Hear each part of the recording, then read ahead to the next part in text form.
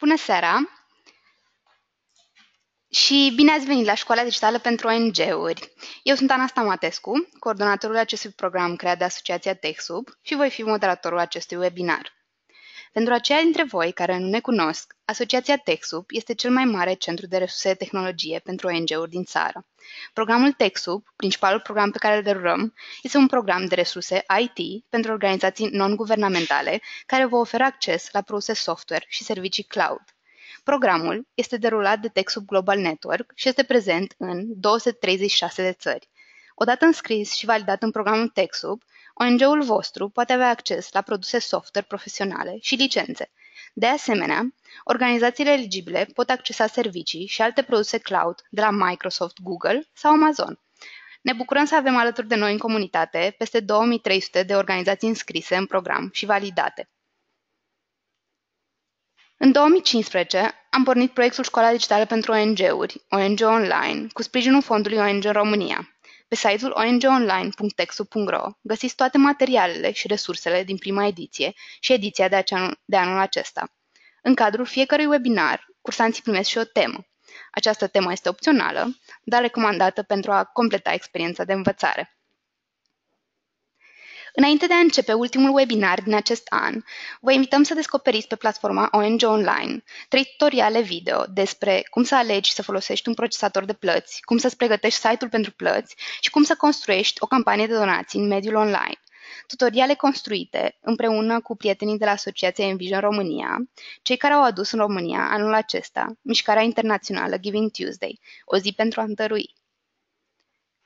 Astăzi, cu ajutorul lui Bogdan Manolea, director executiv la Asociația pentru Tehnologie și Internet, intrăm într-un subiect extrem de important, drepturi de autor sau copyright în digital. Înainte să începem, câteva precizări de natură tehnică.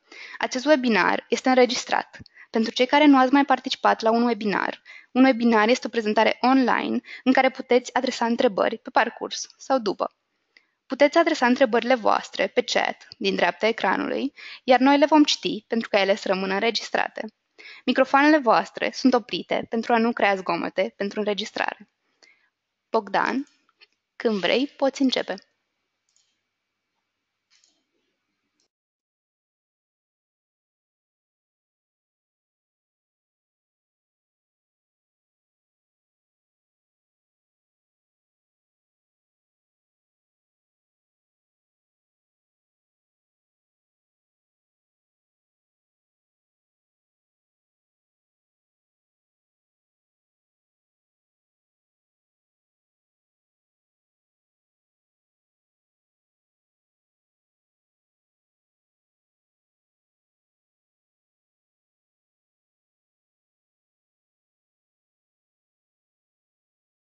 Să încerc să scot. Acum se aude bine? Bun.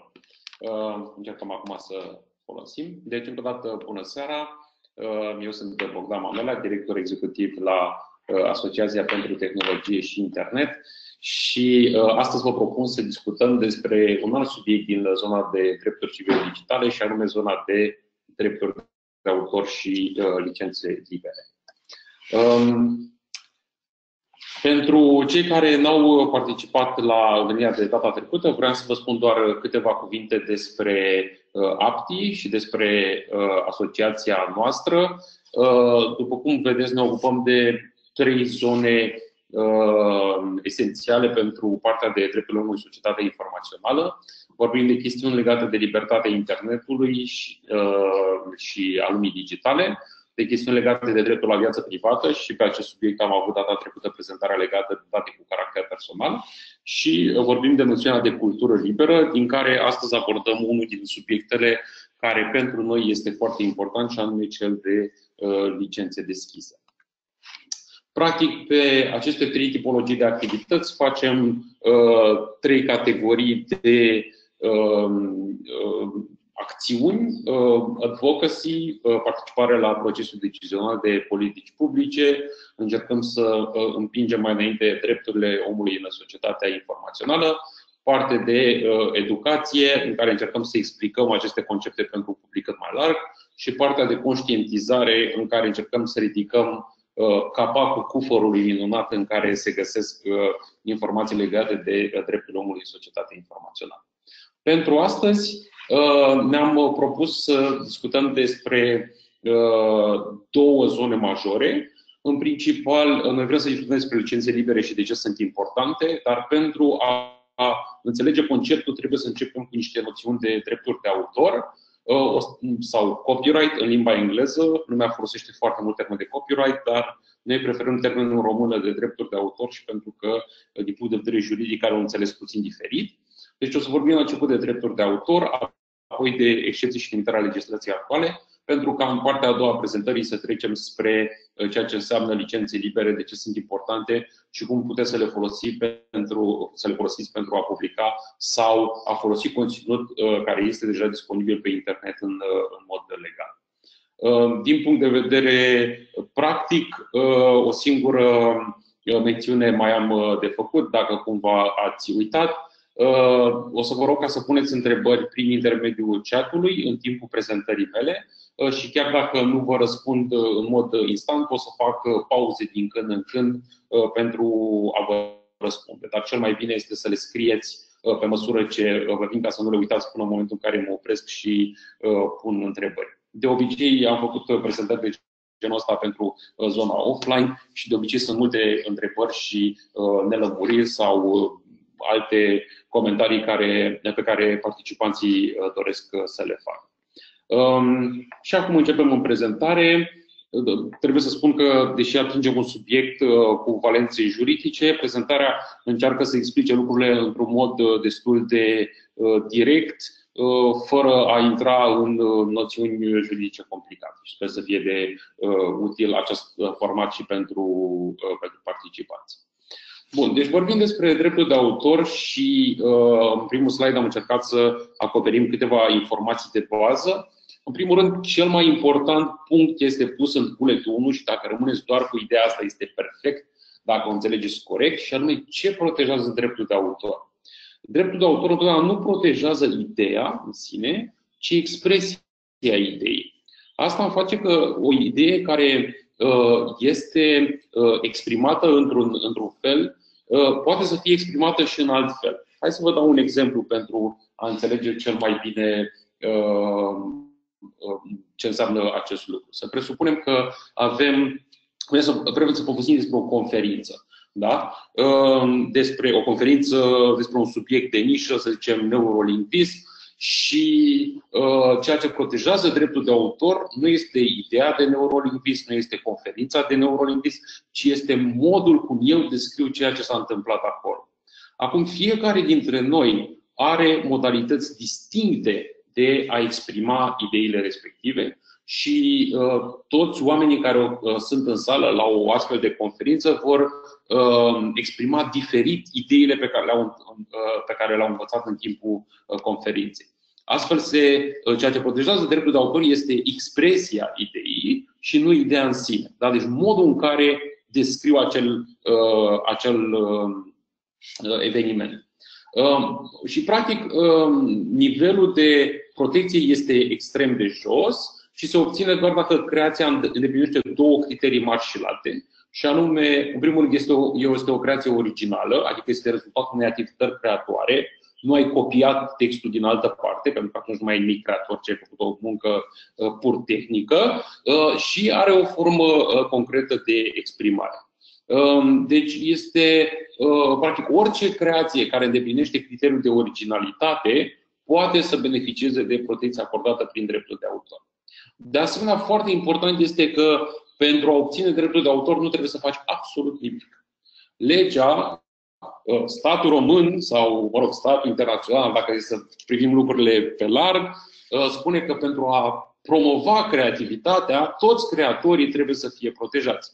Și atunci, automat, prin efectul legii, fără să te duci să te înregistrezi la oficiul român pentru drepturile de autor, la oficiul de stat pentru invenții și mărci, sau la cine știe ce autoritate o mai inventat statul român data viitoare, uh, nu trebuie să te duci să te registrezi, ci pur și simplu ce legea spune că din momentul în care uh, ai, să zicem, ai început, de fapt, partea creativă, nici măcar nu ai terminat-o, ți se acordă această protecție pe care dreptul de autor uh, o are pentru orice fel de operă.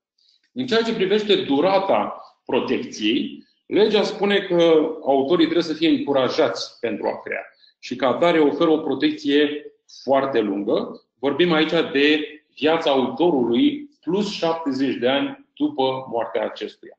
Acesta este regula în domeniu, mai sunt câteva excepții, dar uh, într-o oră nu o să avem uh, timp să intrăm pe uh, foarte multe chestii de nișă sau de detaliu, dar ceea ce e important de înțeles este principiul. Și principiul este că durata este viața autorului plus 70 de ani după moartea acestuia.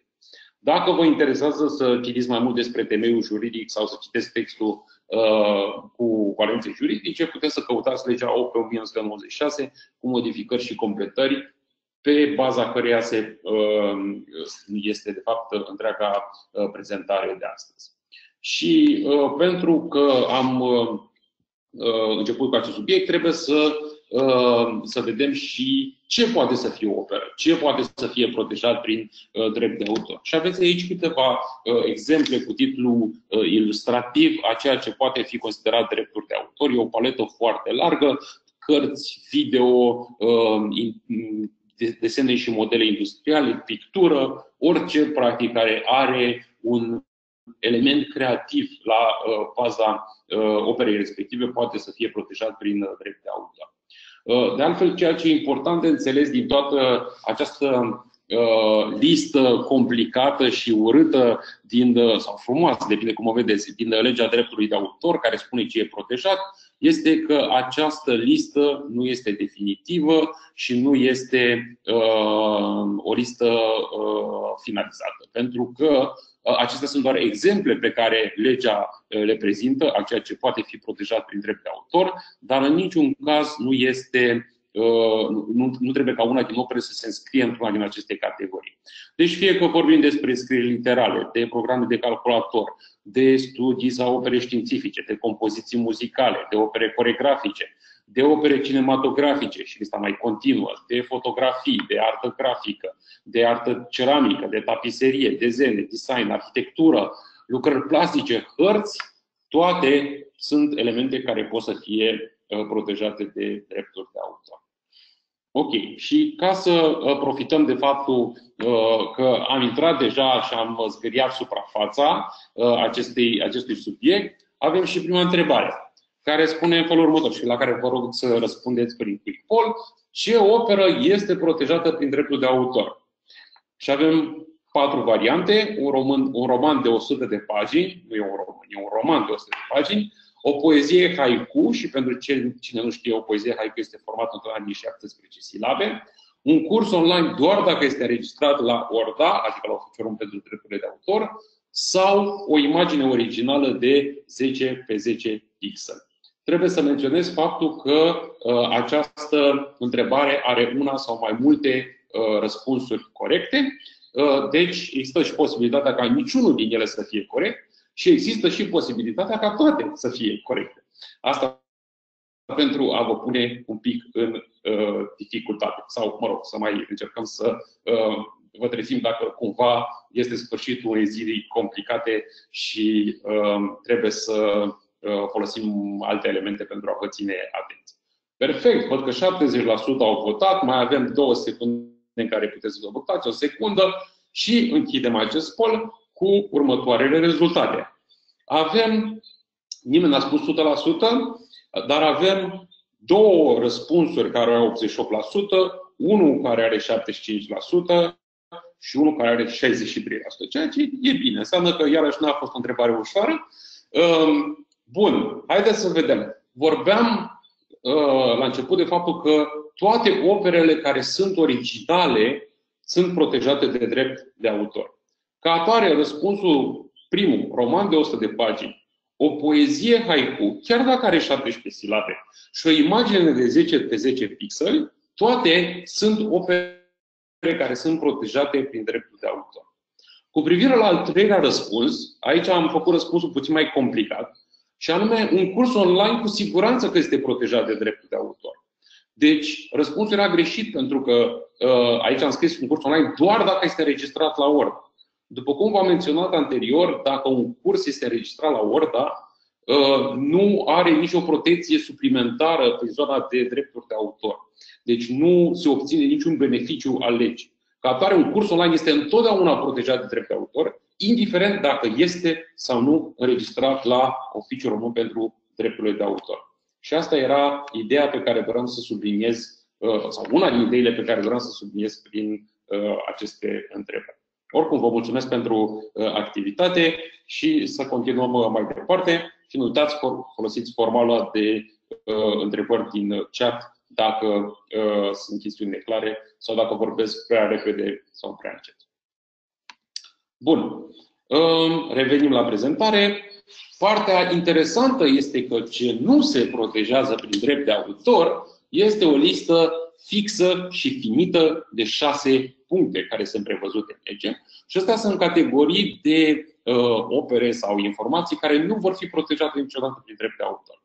Prima categorie, și e important să trecem prin ele ca să ne înțelegem mai, mai departe. Prima categorie vorbește despre idei, teorii, concepte, uh, metode sau funcții matematice uh, sau invenții. Um, acestea nu pot fi protejate din drept de autor, pe de o parte pentru că uh, nu, um, o idee în sine nu poate fi protejată, ci doar expresia ideii, iar restul de elemente sunt de obicei uh, informații uh, tehnice, matematice, uh, care nu, care nu îndeplinesc criteriul de originalitate din punct de vedere creativ, dar pot să îndeplinească alte criterii de noutate și atunci poate să îmbrace forma unei invenții care se protejează printr-o altă lege specifică și se protejează invenția printr-o Uh, printr-o cerere care se depune la oficiul de stat pentru invenții și mărci, care verifică noutatea și așa mai departe. De asemenea, nu se consideră că sunt protejate pe drept de autor orice text oficial de natură politică, legislativă, administrativă, judiciară. Asta înseamnă că orice lege, orice text de jurisprudență este un text public și care nu poate fi drept, uh, protejat prin drept de autor și atunci oricine are dreptul să-l publice, să-l republice, să-l comenteze, să-l critique, să-l anoteze sau să facă ce vrea cu el. Pentru că scopul uh, acestor texte este diseminarea lor și nu uh, protecția. De asemenea, sunt următoarele două categorii, sunt uh, diverse elemente uh, care beneficiază de alte protecții, cum ar fi stemă, sigiliu, trapel, emblemă sau mijloacele de plată, în care, care nu sunt protejate prin drept de autor, dar care pot să fie protejate prin alte legislații. Deci nu vă recomand ca să faceți uh, copii la fotocopiator a a bancnotelor, pentru că sunt alte infracțiuni în codul penal care s-ar putea să se aplice în acel caz. În fine, ultimele două categorii sunt poate cele mai uh, sunt cele care atrag cele mai multe întrebări. În primul rând, uh, vorbim despre simple fapte și date. Asta înseamnă că nu vom proteja prin drept de autor uh, informații brute. De genul, uh, astăzi în București sunt 25 de grade. Apropo, nu sunt 25 de grade, este mult mai frig, dar important este că nu poți să protejezi prin drept de autor temperatura, de exemplu, da? sau faptul că în meciul de ieri scorul a fost 2 la 0 nu mai țin minte nici ce meci a fost și nici cine cu cine a jucat, dar important este că simplele fapte și date nu pot să fie protejate. De asemenea, spune legea că nu poți să protejezi știrile și informațiile de presă. Și aici este un, uh, sunt doar practic cinci cuvinte care însă suscită cea mai mare discuție pentru că discutând cu profesori din facultatea de jurnalist am aflat că nu există o definiție universal valabilă a ceea ce înseamnă fie știre, fie informație de presă. Uh, și atunci, cred că trebuie să facem distinția, revenind la slide numărul 1 și la criteriul de originalitate. Da? Adică nu vor fi protejate acele uh, comunicate de presă date de o instituție oficială sau uh, acele știri care pur și simplu îmbracă uh, forma unor uh, descriere unor evenimente. De exemplu, uh, astăzi, uh, de la ora uh, 1, s-a întâlnit domnul Claus Iohannis cu domnul Dragnea uh, și au jucat șah. Da? Acestea sunt niște informații, uh, o informație de presă, o știre. Da? Nu este nimic creator. În schimb, aceeași informație poate fi transmisă într-un mod extrem de creativ și să descrie, de exemplu, atmosfera superbă de la Palatul Cotroceni în care au jucat cei doi șah.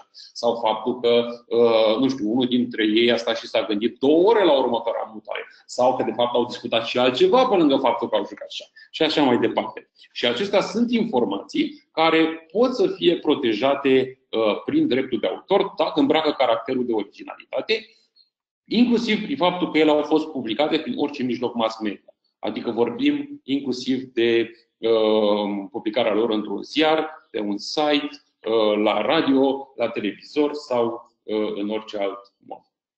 Bun, acum că am clarificat și aceste aspecte, și anume ce nu se protejează dreptul de autor, să intrăm puțin mai în detaliu cu privire la uh, uh, ce tip de opere sunt uh, protejate.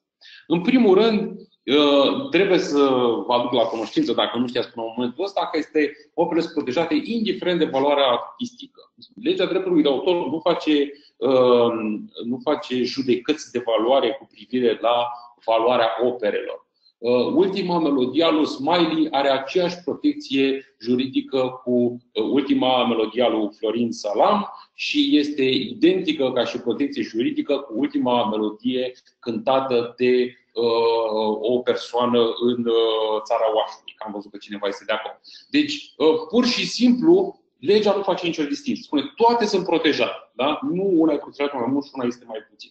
De asemenea, uh, dreptul de autor protejează indiferent de metoda de creație pe care o folosești. Fie că uh, stai și ai dormit două zile bine și poți să faci un tablou minunat, uh, fie că te întâlnești cu o mie de oameni și faci o operă comună, și atunci mă rog, să de discuții, fie că folosim o metodă dadaistă în care tăiem bucăți din ziare și le alăturăm și creăm o altă operă, toate sunt metode care sunt permise de legea dreptului de autor. Și de asemenea, opera este protejată indiferent de modul de exprimare. Poate să fie scrisă, poate să fie citită, poate să fie cântată, poate să fie uh, demonstrată, uh, dar uh, sunt în legislații care cer o fixare a momentului. Dar uh, protecția se oferă uh, indiferent de uh, felul în care creezi opera uh, respectivă. De asemenea, uh, opera este protejată indiferent de destinația sa. Nu contează pentru ce o faci.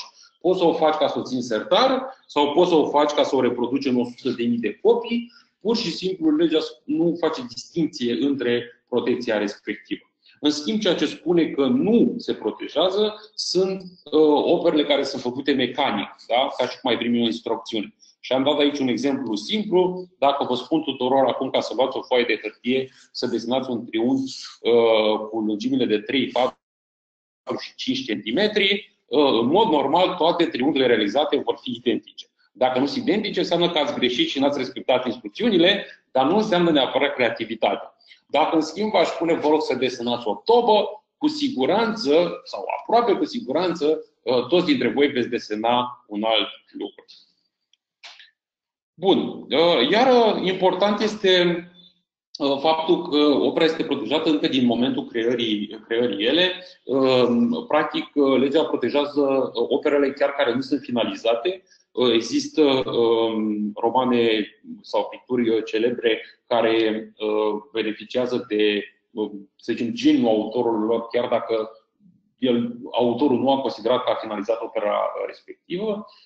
Legea nu face distinție între unde se publică textul respectiv, deci este irrelevant dacă textul s-a publicat într-o carte, dacă s-a publicat în internet, dacă e scris la mașină de scris, dacă e scris pe un uh, calculator uh, și, de fapt, dacă căutați după termenul de internet în legea dreptului de autor, nu o să găsiți mare lucru, pentru că nu este nicio distinție față de orice alt suport pe care uh, este pusă opera respectivă.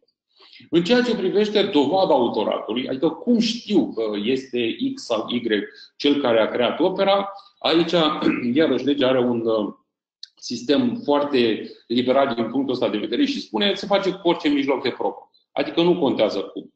Poți să mergi de la situația în care te duci la notar și îi cer trei ștampile, una pusă peste cealaltă, până la varianta în care, uh, să zicem, uh, îți trimiți o scrisoare autoadresată Uh, și nu o deschizi și ai ștampila poștei pe ea, doi martori, uh, faptul că ai publicat-o cu o semnătură electronică și așa mai departe. Deci nu există o uh, așa numită regina probelor care dovedește cine este autorul unei opere, dar legea spune că se prezumă a fi autor persoana sub numele căruia a fost adusă la cunoștința publicului prima dată. Da? Deci, dacă cumva uh, poți să dovedești că prima dată a ajuns la cunoștința publicului sub numele tău, atunci se prezumă, pe o prezumție simplă, că tu ești autorul uh, respectivei opere. Bun. Și ce vorbim? Ce este de fapt dreptul de autor? Uh, mie îmi place să-l denumesc un monopol. De fapt, e un quasi-monopol. Dar e adică aproape un monopol, nu e unul perfect.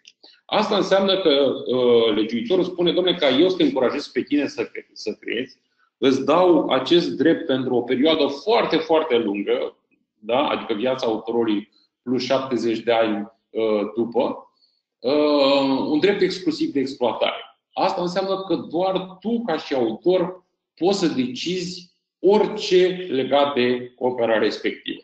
Și orice îmbracă o sferă destul de largă de uh, acțiuni legate de, de operă, uh, pe care, dacă sunteți interesați, le găsiți în detaliu în uh, legislația în domeniu. Fie că vorbim despre reproducerea operei, de copiere, de vânzare, închiriere, comunicare publică și așa mai departe, practic, legea spune, da, poți să ai toate aceste drepturi uh, exclusive pe care uh, noi ți le dăm uh, pentru operele pe care tu le creezi.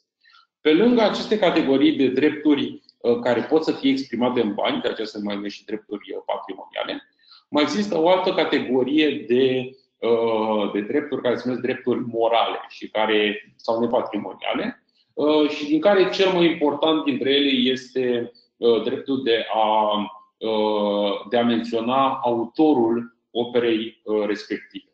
Da? Deci dacă, uh, să zicem, eu vreau să fac o prelucrare a punguței cu doi bani, am voie să fac lucrul ăsta pentru că e o operă care nu mai este protejată, s-a terminat perioada de protecție, dar întotdeauna trebuie să recunosc că autorul original al Punguței cu Dorban nu sunt eu, ci un alt autor român cunoscut pe care îl știți cu toții și care se numește pam, pam, pam, pam, pam, pam, pam, pam, pam, Ion Creangă, sper.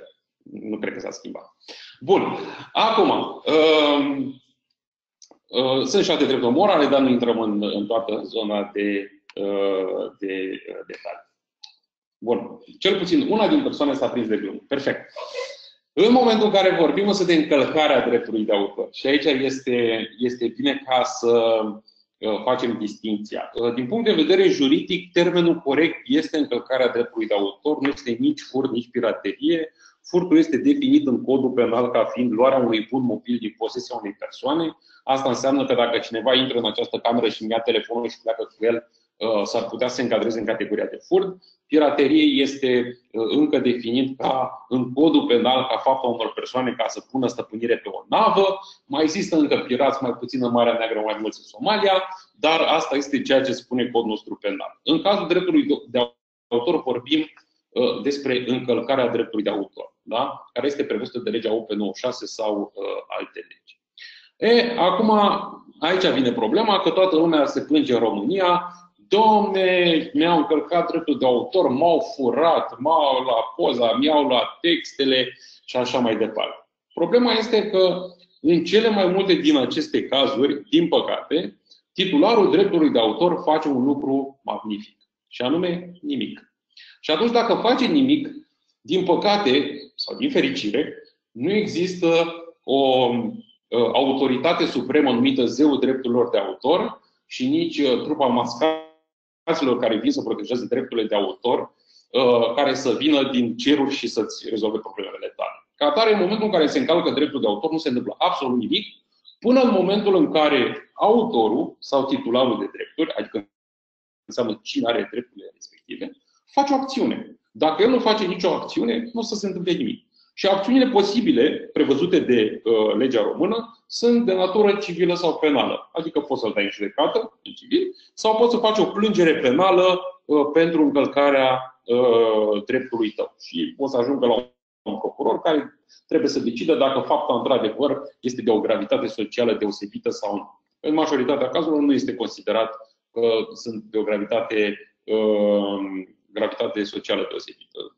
aici e o discuție mai lungă, să zicem. Da, dacă te apuci ca să uh, copiezi CD-uri cu Microsoft să le vinzi în piață, s-ar putea să ajungi și la dimensiunea penală. Sunt deja cazuri care sunt documentate în România pe acest subiect și s-au dat sentințe definitive și irrevocabile. Bun, revenind la acțiunile posibile. Dincolo însă de um, de aceste opțiuni pe care ți le dă legea, o altă opțiune care este la îndemâna oricărei persoane care vede că drepturile sale de autor au fost încălcate, este pur și simplu să contacteze persoana respectivă pentru a rezolva problema. Spun asta pentru că o parte importantă dintre încălcările dreptului de autor se, se regăsesc în, în sfera uh, necomercială sau de o dimensiune uh, financiară redusă. Adică, chiar dacă ai merge în instanță, mai ai obține, eu știu, 3 uh, milioane de dolari, că nu toți suntem YouTube sau Mircea Cărtărescu, și atunci, practic, ceea ce îl interesează pe titularul dreptului de autor este fie să fie recunoscut ca autor, fie să uh, se oprească încălcarea respectivă. Adică nu-ți convine, de exemplu, ca opera ta să apară într-un anumit uh, loc.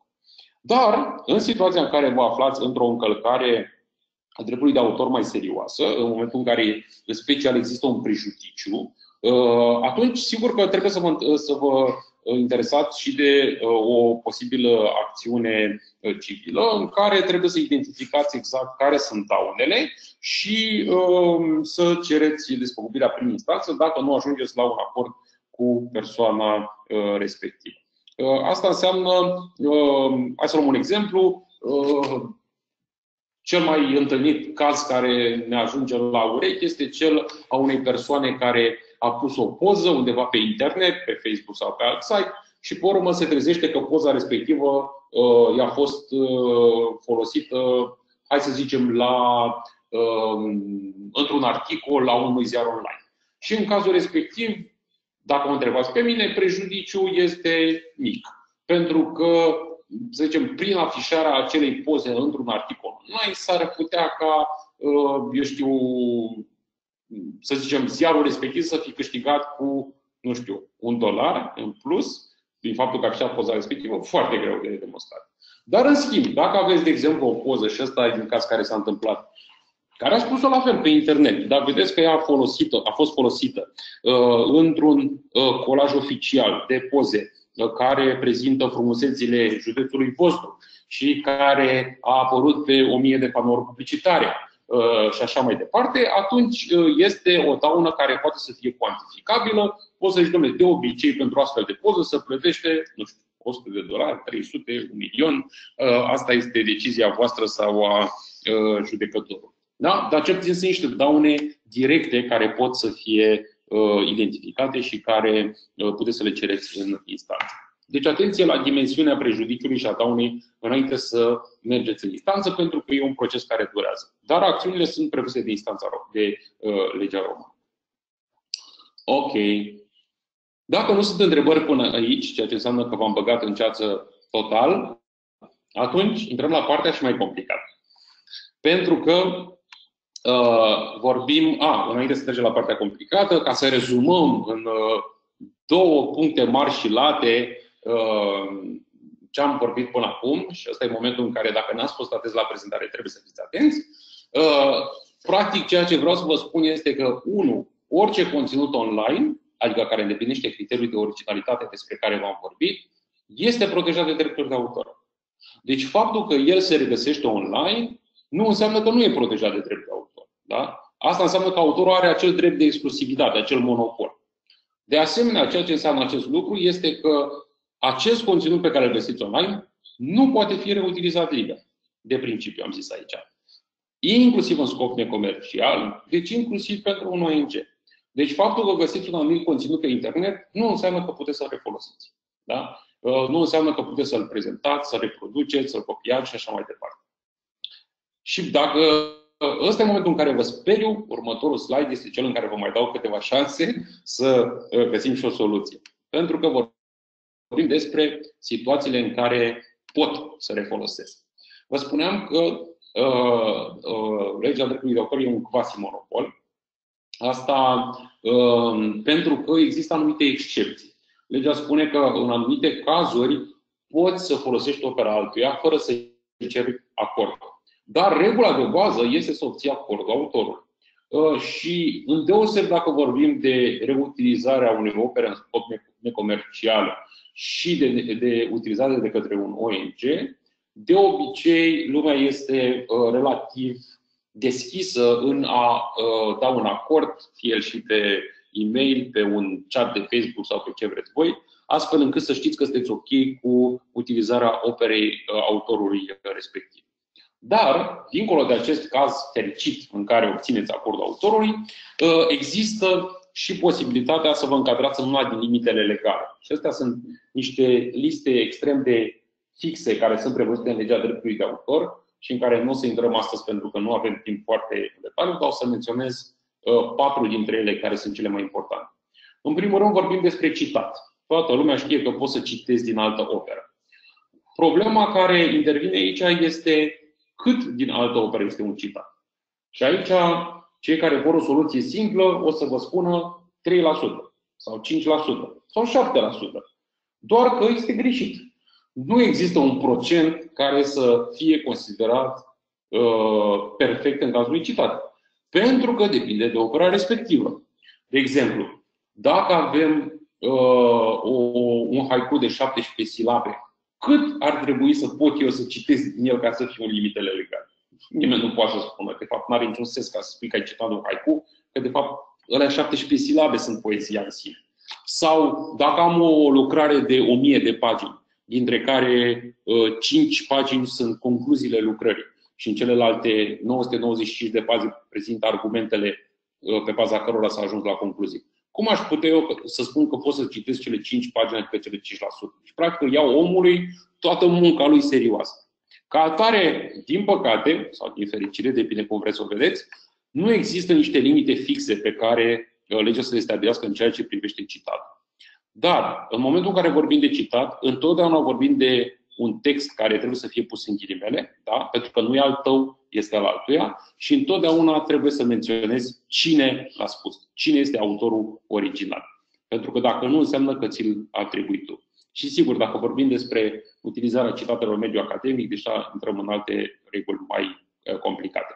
Pentru cei care vor să respecte legile, pentru cei care nu vor să le respecte, discutăm despre plagiat și despre alte situații.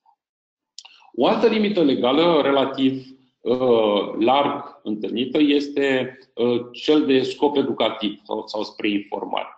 Doar că uh, nu există o limită extrem de largă. Deci nu spune că poți să folosești orice opere atâta vreme cât le folosești într-un scop educativ. Din potrivă, legea este extrem de strictă și spune că poți să folosești doar în limitele bunelor uzanțe și doar dacă nu aduce atingere autorului operei și doar în anumite circunstanțe legate de educație, care de obicei sunt legate de, de instituțiile formale de învățământ, adică școli, universități și așa mai departe. Dacă o organizație non-guvernamentală are niște activități uh, cu scop educativ, chiar dacă ele sunt gratuite, se poate foarte bine să nu se încadreze în aceste uh, limite legale, care, după cum v-am spus, sunt foarte uh, limitate. În fine, mai sunt două categorii de limite legale. Una este reproducerea pentru uz personal. Asta înseamnă că dacă am copiat, uh, dacă am primit, să zicem, un CD cu formația mea preferată, am voie să o transform în format MP3 ca să o ascult și pe telefon sau o mașină. Și mai este categoria transformării pentru utilizare privată sau parodie. Uh, unde există o, uh, un balans care trebuie să facă cu libertatea de exprimare și unde, evident, dacă ai cere acord autorului pentru a face o parodie după opera lui, nu ai primi acel acord. Și atunci legea spune, domnule, dacă vrei să faci orice parodie sau caricatură sau, uh, sau să, să folosești în scop critic opera respectivă, atunci poți să o faci fără a cere acordul autorului. Asta e important de precizat că aceste limite legale toate uh, ele uh, vin prin defectul legii și nu trebuie să obții acordul autorului. Da?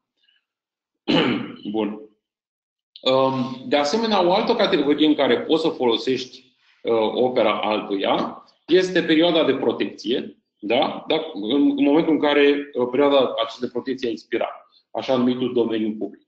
Asta înseamnă că vorbim de opere mai vechi și în care a trecut această perioadă de Uh, să zicem, de principiu 70 de ani de la moartea autorului. Situația în practică e mai complicată, uh, dar nu știu dacă avem timp acum să intrăm în foarte multe detalii. Și, evident, mai este și categoria în care opera respectivă nu poate fi protejată prin drepturi de autor și aici avem lista de cele șase puncte de care deja ne-am lovit mai devreme. Bun. Ok. Am văzut că o parte dintre uh, cei care au venit să participe la curs au întrebat chestiuni legate de uh, contractele cu privire la drepturile de autor. Și aici eu o să mă refer la câteva chestiuni care mi se pare importante de știut, dar aș vrea să fac înainte distinția între noțiunea de contract cu privire la drepturi de autor, care este prevăzut de legislația dreptului de autor, adică legea OP96 de care am vorbit, și modalitatea fiscală numită pe drepturi de autor popular. Pentru că uh, zice, modalitatea fiscală este pur și simplu o metodă care se folosește uneori pentru a plăti uh, anumite persoane și să ieși mai bine din punct de vedere fiscal, însă de cele mai multe ori cei care încheie astfel de contracte, fie le dau în mâna unui contabil, fără să se intereseze de noțiunile minime care trebuie să fie incluse în aceste contracte. Și pe lângă chestiile care le-am menționat aici și care sunt obligatorii conform legii, trebuie să ne uităm și la celelalte obligații generale pe care legea le stipulează în cazul unui contract. De exemplu, obiectul contractului. Și anume, care sunt uh, drepturile de autor care sunt uh, transmise? Cu privire la ce opere se referă acele drepturi de autor? Dacă nu avem niște opere și niște drepturi de autor, practic nu, vor, nu putem vorbi de un contract de cesiune. Ok. Deci, practic, legea permite ca autorul să-și transfere drepturile către o altă persoană, numită titular sau terț, um, fără limite. Adică este, practic, la latitudinea celor două părți să discute ce și cum să conțină. Um, dar spune că dacă vreți să faceți un astfel de contract, el trebuie să fie într-o formă scrisă. Atenție, formă scrisă nu înseamnă neapărat pe hârtie. Formă scrisă poate să însemne și electronică, atâta vreme cât este electronic scris, adică pe o bucată de text și nu electronic vorbit, adică cum vă spun eu acum vouă. Și obligatoriu trebuie să includă drepturile patrimoniale transmise și aici e important ca dacă nu, nu aveți doar, e o gestiune exclusivă, adică se cedează toate drepturile, trebuie să menționați lucrul ăsta în clar, și anume că gestiunea privește toate drepturile patrimoniale și să menționați pentru fiecare dintre acestea modalități de utilizare, durata și întinderea cesiunii. Uh, și de asemenea trebuie menționată remunerația titularului dreptului de autor. Dacă aceste chestiuni nu există în contract, practic oricare dintre părți poate să ceară anularea contractului uh, respectiv. Sigur că puteți să aveți o frază generică care să le, uh, să zicem, acopere pe toate aceste trei, mai ales dacă vorbim despre o, o cesiune exclusivă, deci de cedarea tuturor drepturilor de autor din partea celui care creează opera respectivă către organizația nu guvernamentală, dar trebuie să fiți siguri că le aveți, să nu uitați acest lucru. În fine, uh, ceea ce este interzis este uh, ceea ce legea numește cesiunea drepturilor patrimoniale privind totalitatea operelor viitoare a autorului. Adică dacă tu spui că toate operele viitoare ale uh, creatorului X îmi aparțin mie, este o chestiune ilegală chiar dacă le nominalizezi, să zici, domnule, o să fie X, Y, Z, nu știu ce. Și atunci întâi trebuie ca ele să fie create și după aceea dreptul de autor trebuie să fie uh, practic cesionat către uh, cel care vrea să facă exploatarea respectivă. Bun. Uh, ca să facem lucrurile și mai complicate, sunt mai multe drepturi de autor. Nu există doar unul singur. Am vorbit foarte mult în prima parte în exemplele pe care le-am dat de un așa numit drept de autor propriu-zis, uh, dar poate să existe un drept de autor și pe uh, alte elemente. De exemplu, în cazul unei traduceri, traducerea pe care o face traducătorul A este diferită față de traducerea pe care o face traducătorul B. Și ca atare uh, există un drept de autor derivat doar pe traducere, nu și pe textul original.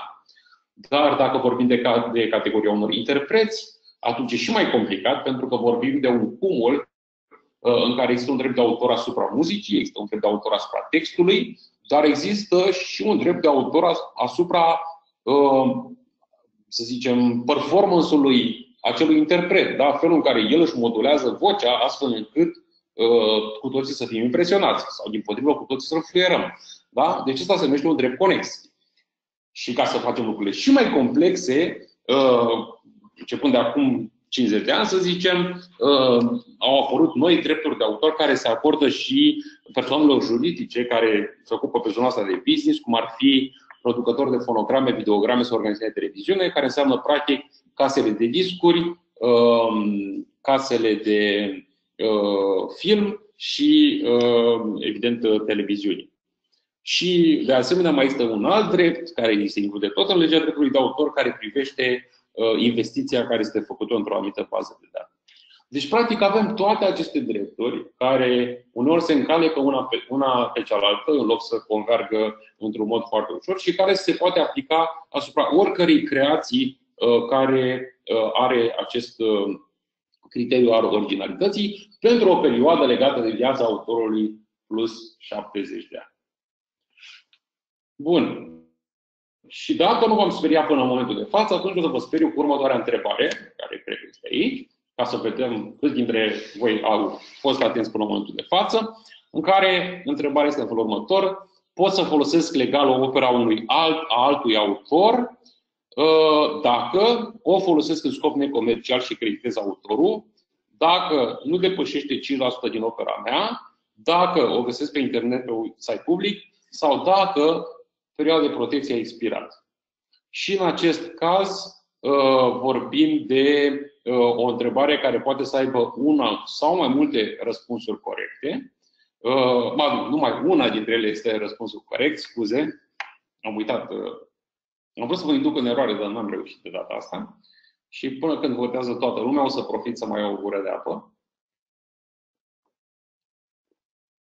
Ok.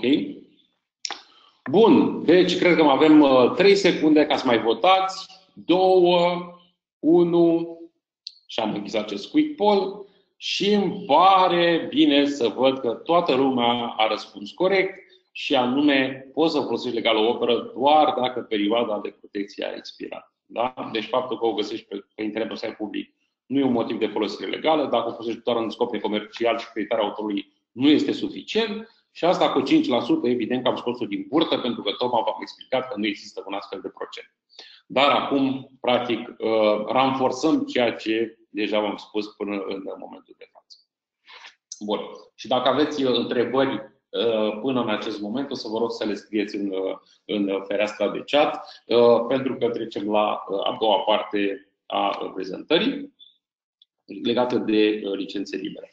Um, bun, deci până acum v-am, v-am prezentat principiile actuale ale legii dreptului de autor. Problema este că internetul practic schimbă aceste reguli ale jocului și uh, dacă până în, uh, uh, să zicem, acum 25 de ani investiția în suportul creației era semnificativă, acum practic oricine dintre noi poate să fie un creator. Și cuvintele cheie sunt share și like și nu protecție. Și ca atare, asta duce și o tensiune pe zona dreptului de autor și o vedeți poate și în zona publică. În schimb, ceea ce vedem practic este că s-au încercat și um, ca, să zicem, tensiunile acestea de la nivel juridic și politic să fie transformate în practică. Profesorul Laurence Lessig uh, este unul din uh, promotorii acestei mișcări care vorbește de o liberalizare a dreptului de autor și care spune, domnule, noi facem o tehnologie minunată care ne permite să dăm share și like pe deasupra și pe urmă facem o lege și ne zicem că nu aveți voie să faceți lucrul ăsta și zice, e ceva în regulă aici. Și atunci ceea ce a propus el este uh, că ceea ce se poate schimba bazat pe actuala legislație a dreptului de autor este ca între varianta de toate drepturile rezervate, unde nu trebuie să faci nimic, și niciun drept rezervat sau în domeniul public, există varianta de unele drepturi rezervate, ceea ce se numește Creative Commons. Și atunci el propune uh, aceste licențe Creative Commons, care practic sunt niște contracte de cesiune neexclusivă sau contracte de licență, care sunt mai libere decât legea, mai liberale. Este practic un semn pe care, dacă îl vezi, tu știi că poți să folosești uh, acord, poți să folosești opera uh, respectivă uh, și uh, nu trebuie să, uh, să întrebi autor. Da? În toate, contract, în toate licențele Creative Commons trebuie să menționezi autorul, da? trebuie să atribui opera către persoana respectivă și mai îți, îți dă posibilitatea, fiind vorba de niște licențe tip, să păstrezi sau nu două drepturi, și anume dacă permiți să o reutilizezi opera în scop comercial sau necomercial și dacă permiți altora să facă modificări ale operei tale. Și uh, asta rezultă în practică într-o serie de licențe și aici vedeți uh, structurarea licențelor uh, care sunt explicate prin niște pictograme mai ușor de, uh, de informate, de la cea mai deschisă până la cea mai puțin deschisă. Iar cea mai deschisă uh, CC0 sunt opere care sunt, uh, să zicem, donate către domeniul public, adică nu mai cer nicio protecție, urmate de următoarea care se numește BAI, adică atribuire. Trebuie să atribui conținutul autorului și în rest tu poți să faci ce vrei cu opera respectivă dacă o găsești pe internet. Și în fine, cea mai puțin deschisă, care este ultima, spune că trebuie neapărat să atribui opera creatorului, Uh, că poți să o folosești doar în scop necomercial și, poți, și nu este permis să creezi opere derivate. Deci trebuie să păstrezi opera așa cum ea este uh, prezentă. De ce se folosește Creative Commons? Uh, avem o serie mai lungă de motivații, dar trei dintre ele cred că sunt esențiale pentru zona organizațiilor non-guvernamentale și sunt legate de faptul că pentru o mare parte a producțiilor care sunt făcute de zona non-guvernamentală și special dacă sunt făcute cu bani publici, scopul nu este neapărat de uh, a limita uh, cercul uh, la care ajunge o ediție printată, de exemplu, a unei creații, ci ar trebui să fie exact invers, și anume de distribuire mai largă. Dacă eu sunt fericit dacă ideile mele și ceea ce promovați eu ca organizație ajunge la, un, la o zonă cât mai largă de, de destinatari. Uh, indiferent de modul în care ajunge. Deci, practic, licența Creative Commons îți spune copiază și dă mai departe, în loc să spună uh, nu ai voie să copiezi uh, acest, acest text. De asemenea, este folosit des pe zona de încurajare de creativitate, pe partea de educație, în special dacă vrei ca conținutul tău să poată fi folosit în mod liber de către orice profesionist în, în domeniul educațional. Și atunci, cred că sunt două zone care ar trebui să fie de interes pentru zona non-guvernamentală în ceea ce privește aceste licențe Creative Commons. Prima este situația în care uh, o organizație vrea ca uh, acele opere pe care le creează să fie distribuite în mod liber la cât mai mulți utilizatori și atunci, practic, trebuie ca uh, organizațiile non-guvernamentale să-și licențieze conținutul tău sub un regim mai liber și să vă dau aici poate și un uh, exemplu. Am făcut într-un uh, proiect uh, cu organizația noastră o serie de 10 filmulețe cu privire la uh, aspecte legate de viața privată, uh, niște animații care au fost finanțate cu bani într-un proiect și am licențiat liber conținutul respectiv, uh, tocmai în ideea în care vrem să fie folosit uh, în orice fel de training legat de făcut de orice profesor oriunde în România Uh, și chiar mai mult decât atât, pentru că am avut conținutul licențiat liber, practic uh, am putut să uh, oferim videoclipurile respective către alte organizații similare din alte state și acum avem filmulețe respective în șapte limbi făcute de diverse organizații din diverse culturi ale lumii, inclusiv una din Mexic, care a spus, domnule, putem să facem și am zis, bineînțeles, nu trebuie să ne întrebați acest lucru. Deci puteți să-l traduceți și să localizați pentru interesul vostru. Și astfel, cu o investiție mai mică, am reușit ca să facem un conținut să ajungă la un număr foarte mare de utilizatori. Cea de-a doua uh, posibilitate care cred că este interesantă și anume este posibilitatea de a folosi conținut licențiat liber pentru a-l folosi în activitățile tale. Fie că vorbim despre site, fie că vorbim despre uh, alte materiale publicate și așa mai departe. Uh, în special că există foarte mult conținut uh, deja licențiat Creative Commons. Conform datelor uh, uh, publicate de cei de la Creative Commons, sunt peste 1,2 miliarde de opere care sunt licențiate prin Creative Commons și o să vă explic imediat și cum le găsiți. Uh, și care, uh, și care pot să fie reutilizate liber. Trebuie să vă uitați un pic atent la licență, dar uh, practic cum activitatea uh, ONG-urilor de obicei se încadrează evident în zona necomercială, uh, puteți să folosiți orice licență, indiferent dacă este limitată la scopul necomercial al licenței selectate.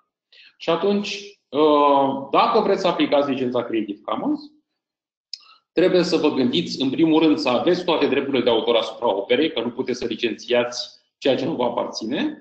Uh, trebuie să vă gândiți dacă vreți ca altcineva să folosească opera și în ce condiții, dacă permiteți utilizare comercială, necomercială și așa mai departe. Trebuie să știți că Creative Commons nu se aplică la software pentru că sunt alte licențe și nu e o alternativă la drept de autor. Și apoi doar mergeți la uh, uh, site-ul Creative Commons. Uh, o să încep să ne și eu acum, cred că se vede, uh, se vede destul de bine. Uh, și uh, bifați uh, unul sau două butoane în funcție de uh, cum vreți să, uh, să apară licența voastră.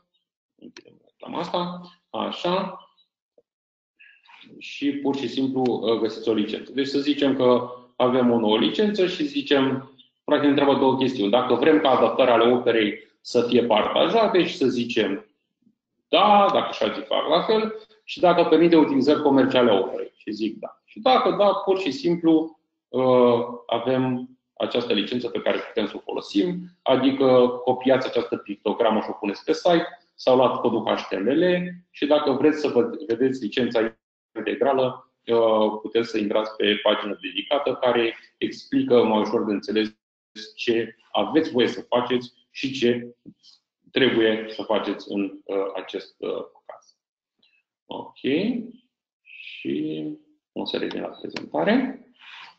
Uh, pentru cealaltă variantă uh, în care vă interesează unde găsiți conținut care este licențiat, Creative Commons, sunt mai multe alternative pe care le-am listat aici. O să vă uh, trimit și prezentarea pentru cei care au participat la, la finalul întâlnirii. Dar există mai multe, așa numite metamotoare de căutare sau căutare avansate, fie în Google, fie în alte, în alte zone și care vă permit să căutați cu o licență anume. Deci un conținut care poate să fie reutilizat.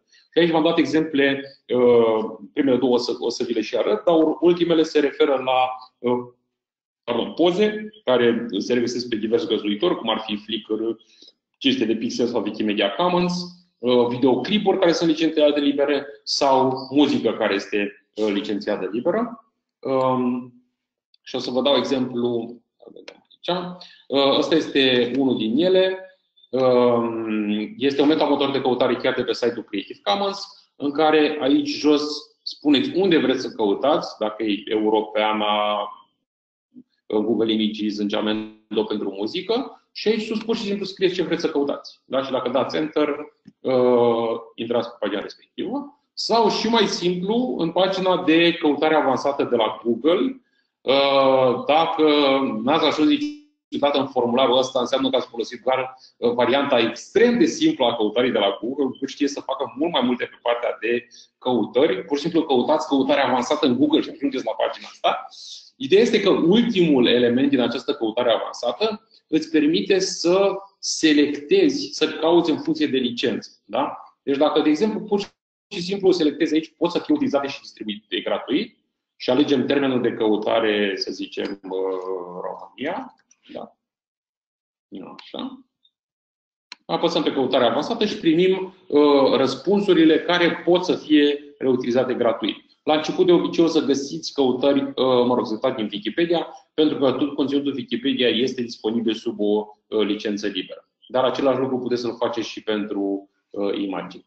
Uh, un alt exemplu e de la uh, 500 de pixel, care este un uh, găzduitor de de poze, de obicei de o calitate mai bună și el are o zonă specifică în care uh, puteți căuta, de exemplu, doar în toate pozele care sunt uh, uite, cu licența uh, atribuire 3.0. Să zicem că vă interesează o poză despre, nu știu ce să zic, să zicem car, da? Evident, trebuie să căutați în engleză. Dacă căutați în română, s-ar să găsiți. Și de aici puteți să selectați ce, sub ce licență să fie. Și dacă căutați imagine cu car, cu, uh, care sunt licențiate doar cu cea atribuire, găsiți 2162 de fotografii pe care le puteți folosi. Da. Ok. Uh, cred că cam astea erau elementele pe care vroiam să le prezint. Uh, o să revin la partea de prezentare. Din urmă. Și cred că sunt câteva întrebări la care uh, trebuia să răspund.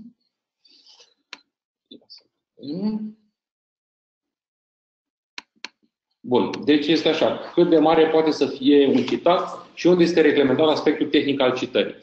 Uh, după cum v-am spus, nu există niciun text oficial a unei uh, legi care să spună exact cât de mare poate să fie un citat. Este permis un citat și de două propoziții și de două paragrafe, atâta vreme cât el este necesitat de scopul citării. De ce vrei să citezi informația respectivă? Uh, asta este important să, să precizez și în funcție de asta, evident, rezultă și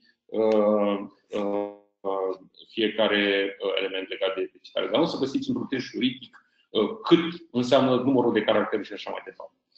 Cum se poate verifica dacă perioada de protecție a expirat? Asta e o întrebare foarte, foarte complicată.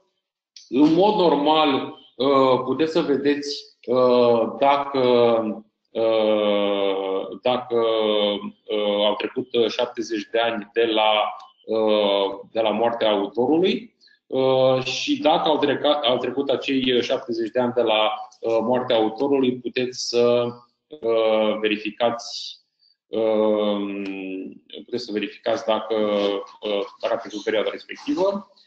Dacă sunt, dacă, au, dacă mai trăiesc moștenitori, asta e o, o parte și mai complicată și practic ar trebui ca să Uh, să vedeți, uh, de fapt să contactați titularul operei respective sau, uh, să zicem, autorul respectiv ca să vedeți exact dacă mai există moștenitor și cine are drepturile în momentul de față. Dar chiar e o, o chestiune extrem de complicată. Depinde foarte mult de la, de la caz la caz. Bun, și cred că mai aveam ultima întrebare, înainte să ajungem la partea de temă. Pentru cine mai este online dintre, dintre dumneavoastră, avem așa întrebarea numărul 3, care spune cum pot găsi o imagine pe, pe care o pot folosi pe site-ul meu, evident în mod legal. Uh, varianta numărul 1, caut pe Google Image Search orice poză și menționez autorul, caut o poză licențiată liber, caut o poză veche din arhive sau singura soluție este să ne folosim propriile poze.